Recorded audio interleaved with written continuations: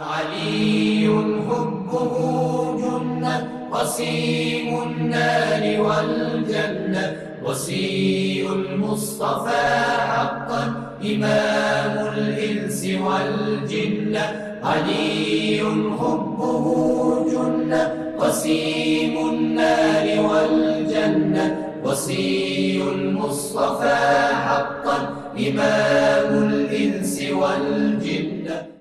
اعوذ باللہ من الشیطان الرجیم۔ بسم اللہ الرحمن الرحیم۔ الحمد للہ رب العالمین۔ وصلی اللہ علی سیدنا محمد وآلہ الطاہرین۔ قال مولانا امیر المؤمنین علی بن ابی طالب علیہ السلام۔ اذا وصلت الیکم اطراف النعم فلا تنفروا اقصاها بقلت الشکر مولا فرماتے ہیں، جب نعمت کے مقدمات تمہاری طرف آتے دکھائی دیں، نعمتیں تمہاری طرف آتی ہوئی نظر آئیں، تو ان نعمتوں کو اپنی کم شکری کی بنا پر ناشکری نہیں فرمایا۔ بقلت شکر اپنی کم شکری کی بنا پر ان نعمتوں کو اپنے آپ سے دور نہ کرو۔ ان نعمتوں کو متنفر نہ کرو، اپنا دشمن نہ بنا دو، کہ وہ نعمتیں نعمتوں میں تبدیل ہو جائیں۔ بہت ہی اہم موضوع ہے کہ جس کی طرف مولا کائنات علی ابن ابی طالب علیہ السلام نے اشارہ فرمایا ہے۔ سب سے پہلی بات جو ہے وہ یہ ہے کہ انسان واقعی عمومی طور سے اس قدر غافل ہے کہ اسے اپنے اوپر خداوند عالم کی بے شمار نعمتوں کا احساس ہی نہیں ہوتا۔ جبکہ پروردگار عالم فرماتا ہے کہ ہم نے تم پر اس قدر نعمتیں نازل کی ہیں کہ اگر تم ان نعمتوں کو شمار کرنا چاہو تو شمار نہیں کر سکتے۔ یہ دعویٰ جو ہے صبح قیامت تک کے لیے ہے، ٹیکنالوجی چاہے جتنی زیادہ بڑھ جائے اور کمپیوٹر چاہے جتنی تیز چیزوں کا شمار کرنے کی صلاحیت رکھتا ہو اور انسانی ذہن چاہے جتنا زیادہ نعمتوں کو شمار کرنے کی صلاحیت رکھتا ہو، لیکن وہ ان ہم نے جو نعمتیں تم پر نازل کی ہیں، پروردگار عالم فرماتا ہے، وَإِن تَعُدُّوا نِعْمَةَ اللَّهِ لَا تُحْسُوهَا اگر تم ان نعمتوں کو شمار کرنا چاہو تو ان کا احسان نہیں کر سکتے، انہیں سمیٹ نہیں سکتے۔ شمار میں نہیں آ سکتی وہ نعمتیں جتنی نعمتیں ہم نے تم پر نازل کی ہیں۔ لیکن اکثر انسان ایسے ہیں کہ جو نعمتوں کو محسوس ہی نہیں کرتے۔ محسوس نہیں کرتے۔ جائے کہ ان نعمتوں کو سمجھنا کہ یہ ہمارے لیے نعمت ہے۔ ایک ماحول کا ملنا کہ جس کے اندر اس کی پیدائش ہوئی ہو۔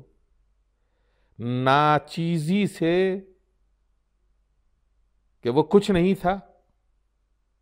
ایک وجود کی شکل میں آ جانا خود ایک بہت بڑی نعمت ہے۔ اللہ تعالی الانسان حین من الدہر لم یکن شیئا مذکورا کیا انسان کے اوپر ایک ایسا وقت نہیں آیا ہے؟ ایسا وقت نہیں آیا تھا کہ جب وہ ایسا تھا کہ وہ قابل ذکر ہی نہیں تھا۔ قابل ذکر ہی نہیں تھا۔ اس کے بعد پھر ہم نے اسے بنایا، اس کے اسے خلق کیا۔ انا خلقنا الانسان من نطفت نمشاج نبتلی ہے فجعلنا ہو سمیعا بصیرا۔ پھر ہم نے اسے خلق کیا۔ اسے، اس کی آزمائش کے لیے ہم نے اسے سمیع اور بصیر بنایا۔ کتنی نعمتیں ہیں جو پروردگار عالم نے، ماں کی نعمت، باپ کی نعمت، ماں کے وجود میں اس کی غذا، اتنی بڑی نعمت ہے۔ ماں کا بہترین اس کے آنچل کا سایہ، اس کی مہربان آغوش، اس کے سینے سے ملنے والی غذا، اس کی محبت و مہربانیاں تمہیں کثافتوں سے دور کرنے کے لیے پیار کے ساتھ اس کا ہر انداز اور تمہیں پاک و پاکیزہ دیکھ کر کے اس کا خوش ہونا۔ باپ کی شفقتیں، مہربانیاں، ماں باپ کا تمہارے وجود کے لیے دعائیں کرنا، تمہارے پروان چڑھنے کے لیے دعائیں کرنا، تمہیں بڑا دیکھ کر کے خوش ہونا۔ تمہاری، تمہارا گھر، تمہیں ملنے والی غذائیں، تمہیں ملنے والی نعمتیں، تمہارے ارد گرد جو افراد ہیں، ان کی محبتیں، ان کی مہربانیاں، ان کا ان کی مدد جو تمہارے شامل حال ہوتی ہیں۔ خدا بند عالم نے تمہاری زندگی کو برقرار رکھنے کے لیے نہ جانے بے شمار غذائیں تمہارے لیے فراہم کیں۔ یہ ساری نعمتیں ہیں۔ فراوانی کے ساتھ تم آسانی سے سانس لے سکو۔ پوری دنیا میں آکسیجن کا اتنا بڑا ذخیرہ رکھا ہے کہ کوئی انسان جو ہے اس سے محروم نہ رہنے پائے۔ بلکہ کوئی مخلوق جاندار اس سے محروم نہ رہنے پائے۔ بہترین ذخیرہ اس نے میٹھے پانی کا فراہم کیا ہے۔ بہترین ماحول زندگی کا اس نے بنایا ہے کہ جس کے اندر تم عیش و آرام کے ساتھ زندگی بسر کرتے ہو۔ یہ ساری نعمتیں انسان محسوس تک نہیں کرتا۔ ایک گروہ ان انسانوں کا ہے کہ جو محسوس ہی نہیں کر سک، کرتے کہ ہمارے ساتھ پروردگار عالم نے کتنا کرم کیا، کتنی مہربانی کی۔ اور ایک وہ انسان ہے کہ جو محسوس کرتا ہے۔ اللہ نے ہمیں یہ دیا، اللہ نے ہمیں یہ دیا، اللہ نے ہمیں یہ دیا، ہمیں شکر ادا کرنا چاہیے۔ جب وہ گویا عقل ہے اس کی، عقل سلیم ہے اس کی کہ جب وہ نعمتوں کو محسوس کرنے لگتا ہے تو دو طرح کے لوگ ہوتے ہیں کہ نعمتوں کو محسوس کیا کہ بھائی نعمت ہے ہمارے طرف پھیلی ہوئی ہے ہمارے اطراف میں چاروں طرف ہمارے نعمت ہی نعمت ہے۔ تو اگر عقل سلیم رکھتا ہے تو شکر ادا کرتا ہے۔ اگر کوئی عہدہ اور منصب ملا ہے تو شکر خدا بجا لانے کا طریقہ یہ ہے کہ اس منصب کے ذریعے دوسروں کو کی مدد کرے۔ اگر مال و دولت ملا ہے تو خود بھی اسے سلیقے سے مصرف کرے۔ سلیقے سے مصرف کرنا ہی شکر نعمت ہے۔ اور بد سلیقے سے اسے مصرف کرنا اور اسے ضائع کرنا ناشکری ہے۔ تو خود بھی سلیقے سے مصرف کرے، دوسروں کی مدد بھی کرے، یہ شکر نعمت ہے۔ اور اس طرح سے نہ جانے کتنی چیزیں ہیں کہ جو خدا بند عالم نے ہمیں عطا کی ہیں اور ہم سے یہ تقاضا کیا ہے کہ تم جس قدر شکر ادا کرتے جاؤ گے لَإِن شَكَرْتُمْ لَأَزِيدَنَّكُمْ ہم تمہیں نعمتیں دے رہے ہیں اور فراواں نعمتیں دے رہے ہیں۔ اتنی نعمتیں دی ہیں ہم نے تمہیں کہ تم ان کا شمار نہیں کر سکتے۔ لیکن اگر تم ان نعمتوں کا شکر ادا کرتے جاؤ گے، شکر تین طریقے سے ہے۔ یا تو دل کے ذریعے آدمی شکر ادا کرتا ہے، خوش ہوتا ہے اپنے اندر، یا زبان کے ذریعے خدا کا شکر ادا کرتا ہے کہ پالنے والے تو نے اتنی نعمتیں دی، تو نے اتنا اچھا ماحول دیا، تیرا شکر۔ تو نے اتنے اچھے دوست دیے، اتنے اچھے ماں باپ دیے، اتنی اچھی اولاد دی، تیرا شکر ہے۔ اور عملی شکر۔ نعمتوں کا عملی شکر کیا ہے؟ نعمتوں کا عملی شکر وہی ہے کہ سلیقے سے ان نعمتوں کا استعمال کیا جائے۔ اچھی طریقے سے ان نعمتوں کا استعمال کیا جائے۔ جس قدر بہترین طریقے سے ان نعمتوں کا استعمال ہوگا اور ان نعمتوں سے کہ، ان نعمتوں کے جو اسے عطا کی گئی ہیں اس میں اپنے جیسے انسانوں کو بھی شریک قرار دے اور دوسروں کی بھی مدد کرے۔ یہ بہترین شکرانہ نعمت ہے پروردگار عالم کی بارگاہ میں۔ قرآن مجید نے عبرت آمیز نمونے پیش کیے ہیں ہمارے لیے کہ ہم یہ محسوس کریں کہ شکر نعمت کا نتیجہ کیا ہوتا ہے؟ اور کفران نعمت کا نتیجہ کیا ہوتا ہے؟ قوم سبا، ایک بہت ہی ترقی یافتہ قوم ہے۔ قوم سبا، ہزاروں سال پہلے انہوں نے بہت عظیم ڈیم بنایا تھا، بہت عظیم صد بنایا تھا۔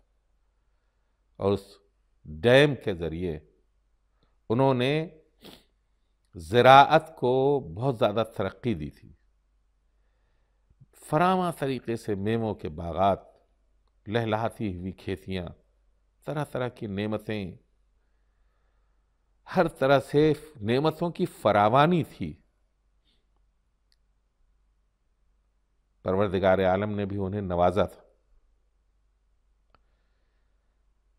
یہ اس کا ذکر پروردگار عالم نے قرآن مجید میں اس طرح سے کیا کلو مر رزق رب اپنے رب کے رزق کو کھاؤ، وشکرو لہ، اور اس کا شکر ادا کرو۔ بلدتن طیبتن و رب غفور۔ بہترین آبادیاں سر سبز و شاداب لہلاتی ہوئی کھیتیاں اور بہترین شہر اور آبادیاں اور بخشنے والا پروردگار۔ آپ دیکھیں، یہ چھوٹے چھوٹے جملے ہیں جن کا آغاز جو ہوتا ہے وہ یہ ہے کہ نعمتیں جو تمہیں مل رہی ہیں ان کا شکر ادا کرو۔ اس کا نتیجہ کیا ہوگا؟ اس کا نتیجہ یہ ہوگا کہ تمہاری کھیتیاں لہلائیں گی، تمہارے شہر آباد ہوں گے اور پاک و پاکیزہ شہر ہوں گے نعمتوں کے شکر کے ذریعے۔ اور خدا بھی تم پر مہربان ہوگا، بخشنے والا مہر، پروردگار۔ رب غفور، خدا بھی تم پر مہربان ہوگا لیکن انہوں نے کیا کیا؟ قوم سبا نے کیا کیا؟ کفران نعمت کیا۔ خدا کی نعمتوں کو غلط طریقے سے استعمال کیا، حیف و میل کیا۔ لوگوں کے ساتھ بدسلوکی کی۔ طبقاتی نظام کو قائم کر کے غریبوں کے ساتھ بدسلوکی کی اور نعمتوں کا، فراواں نعمتوں کا، کی ناشکری کی، جس کے نتیجے میں انہیں کیا ملا؟ اس کے نتیجے میں انہیں یہ ملا کہ وہ بہترین صد اور بہترین ڈیم جو انہوں نے اپنے زمانے میں بنایا تھا کہ جس کے ذریعے تمام آبادیوں تک پانی پہنچاتے تھے اور تمام اراضیوں تک پانی پہنچاتے تھے کہ جس کے ذریعے بے انتہا نعمتیں انہیں نصیب ہوئی تھیں۔ طرح طرح کے میوے، طرح طرح کے باغات، طرح طرح کے پھل، طرح طرح کے پھول کہ جن کی انتہا نہیں تھی، وہ سب کا سب کیا ہوا؟ ایک مرتبہ کفران نعمت کے نتیجے میں وہ پورا ڈیم جو ہے تباہ اور برباد ہو گیا اچانک۔ اور جیسے ہی اچانک یہ ڈیم برباد ہوا، اس کا انجام یہ ہوا کہ پروردگار عالم نے ان سے وہ ساری نعمتیں چھین لی۔ ان کی آبادیاں تباہ ہو گئیں، ان کے باغات تباہ ہو گئے، ان کی لہلہاتی ہوئی کھیتیاں تباہ ہو گئیں۔ نہ جانے کتنے لوگ اس سیلاب کے اندر بہ گئے۔ جہاں پروردگار عالم نے یہ فرمایا ہے لَإِن شَكَرْتُمْ لَأَزِيدَنَّكُمْ وہاں خود پروردگار عالم نے یہ فرمایا ہے، وَلَئِن كَفَرْتُمْ إِنَّ عَذَابِي لَشَدِيد اگر تم کفر نعمت کرو گے تو یہ یاد رکھو کہ ہمارا عذاب انتہائی شدید ہوگا، انتہائی خطرناک ہوگا۔ ان عذابی یقیناً میرا عذاب لشدید، لام تاکید کے ساتھ اس کا ذکر کیا گیا ہے کہ یہ نہ سوچو کہ ہم تم سے انتقام نہ لیں گے، یقیناً انتقام لیں گے۔ اور اس طرح کا انتقام لیں گے کہ جس کا تم تصور بھی نہیں کر سکتے۔ لہذا نعمات پروردگار عالم کو اپنے گویا، بدعمالیوں کی وجہ سے اور نعمتوں کے ساتھ حیف و میل کرنے کی وجہ سے اور نعمتوں کو برباد کرنے کی وجہ سے کفران نعمت کرنے کی وجہ سے نعمتوں کو اپنے آپ سے دور نہ کرو۔ نعمتوں میں اضافہ کب ہوگا؟ جب نعمتوں کا احساس کیا جائے، نعمتوں کو گویا سلیقے سے برتا جائے۔ اس، ان تمام نعمتوں کو گویا دوسروں کے اوپر بھی صرف کیا جائے۔ اور ایسی روش اپنائی جائے کہ جس سے اظہار ہو سکے کہ خدا بند عالم کی نعمت کا عملی شکر ادا کیا جا رہا ہے۔ ایسے میں بستیاں آباد ہوں گی، شہر خوشحال ہوں گے، انسان خوشحال ہوں گے، نعمتوں کی فراوانی ہوگی اور پروردگار عالم آسمان سے بھی نعمتیں نازل کرے گا اور زمین سے بھی نعمتیں ہمارے لیے اگائے گا۔ انشاءاللہ ہم ایسے بندے بنے پروردگار کے کہ اس کے شکر گزار بندے کہلائیں۔ والسلام علیکم ورحمۃ اللہ وبرکاتہ۔